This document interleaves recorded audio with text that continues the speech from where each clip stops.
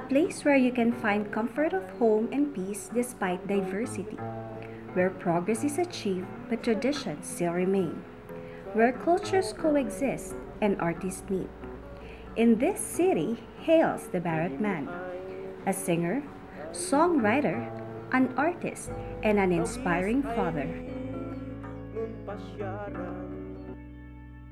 Lito is a skilled wirecraft artist who hails from the province of Abra. Just like any other migrants of Baguio, he spent most of his grown-up years trying different jobs just to make a living.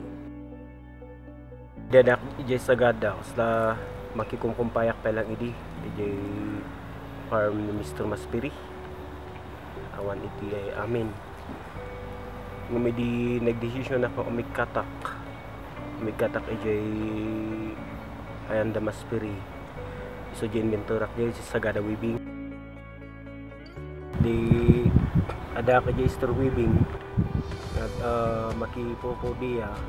Uray kas parigan ala ti ka manunga kwa 4 hours nga overtime. Kurang tay lang.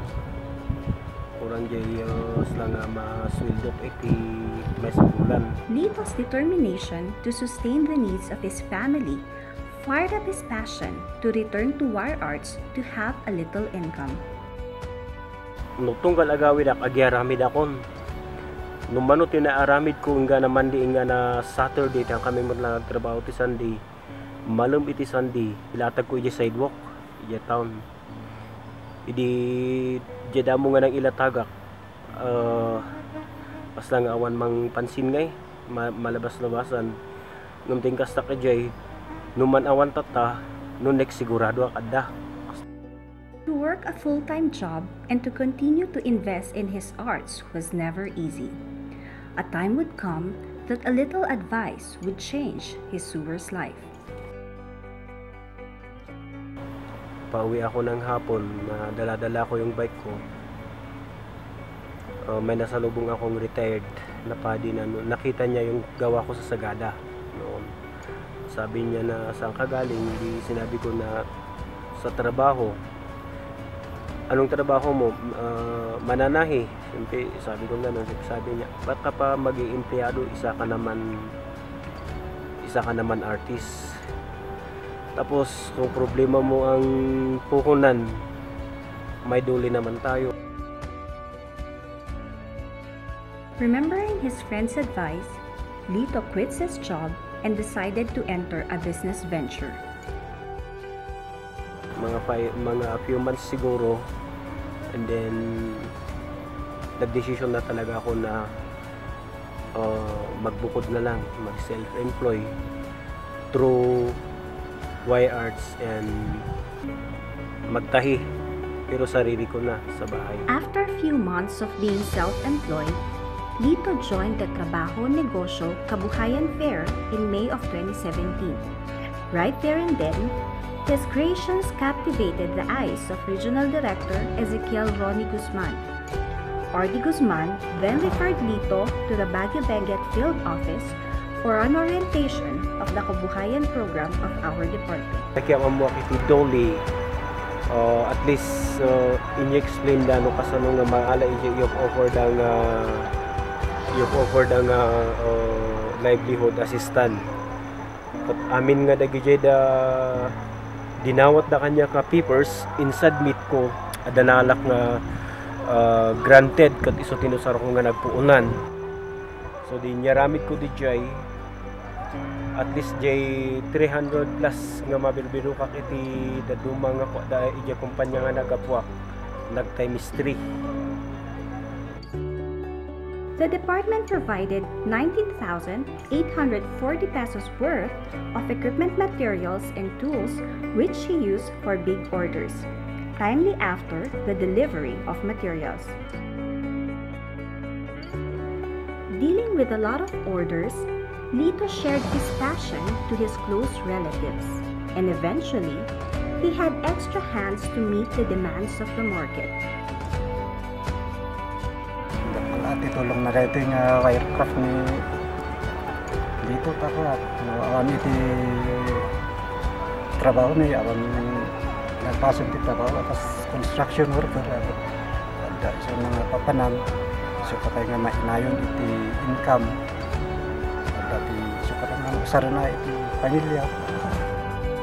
To ensure the sustainability of his business, he continues on producing, selling, and displaying his work of arts by visiting private souvenir shops, offices, and joining more trade fairs.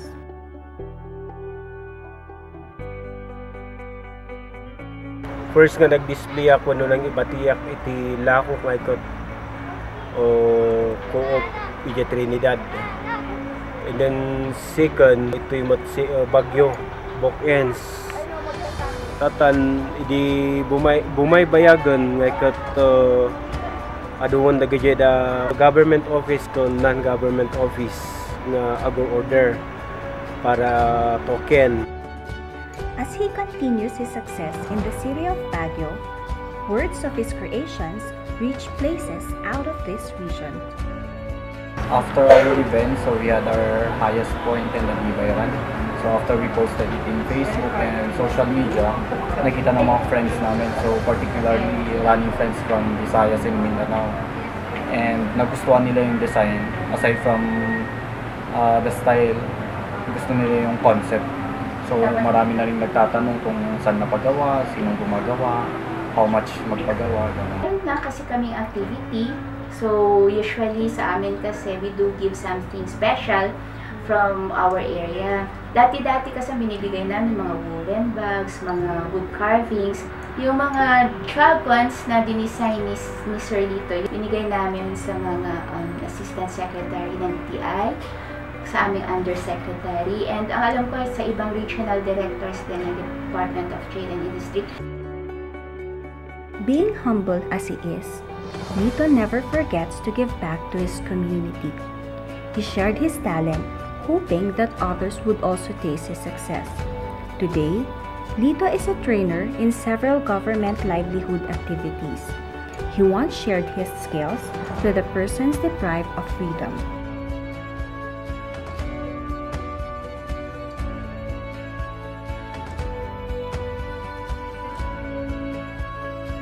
Lito's journey is surely an inspiration. His story, being an uphill battle, earned him headlines to some local media outlets. Maraming maraming salamat sa programa ng Dole kasi kung wala din sila talaga, wala din akong pagtunan ng lakas para ipagpatuloy ko ng pagkatao ko bilang isang artist. Kasi kung kahit magaling ka kung walang tutulong sa iyo kasi ngayon, kung wala kang pera kahit artist ka, talaga wala kang magagawa. Hindi rin mabibili yung gawa mo kung walang mag-appreciate. So yun ang isang uh, pinagpapasalamatan po sa dulo. Lito inspires us that one can find success through our passion. This reminds us to continue on helping others so that others will do the same in return. The Dolcar compliments Lito for his outstanding accomplishment. The United Nations Educational, Scientific, and Cultural Organization recognized Baguio as the most creative city in Southeast Asia, in which Lito is one of the identified local craft artists. Ako si Lito Malagay, isang singer, isang composer, isang wire artist. Ako ang barutman ng Cordillera.